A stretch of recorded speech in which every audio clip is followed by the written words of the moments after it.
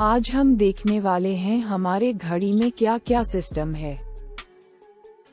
ये रहा हमारा घड़ी का बॉक्स और बॉक्स को हटा दे तो ये रहा हमारा घड़ी और घड़ी को ओपन करते हैं तो देख सकते हैं, इसमें बहुत सारा सिस्टम है।